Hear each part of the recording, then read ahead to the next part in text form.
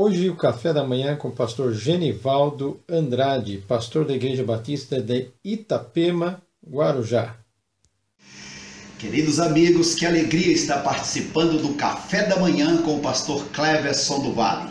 Quero chamar sua atenção para Mateus capítulo 7, versos 13 e 14, que diz: Entrai pela porta estreita, porque larga é a porta e espaçoso é o caminho que conduz à perdição, e muitos são os que entram por ela.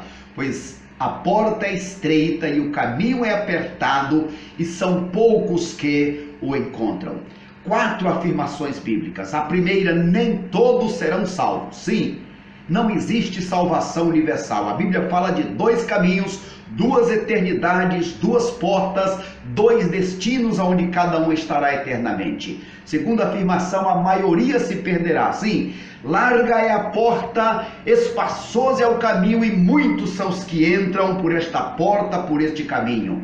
Da mesma forma diz a Bíblia e nós entendemos que nem todos serão salvos. Jesus disse: nem todo que me diz Senhor, Senhor entrará no reino dos céus. E a quarta afirmação, hoje pode ser a sua última oportunidade. Sim, aquele homem rico que confiava é, nos seus méritos, um insensato, ele pensava em muitos anos, mas Deus disse: Louco, se nesta noite eu pedir a tua alma, o que tens preparado, para quem será? Portanto, abra o teu coração, recebe a Jesus enquanto há tempo e seja mais que um religioso, alguém que vive para a glória de Deus. Deus te abençoe.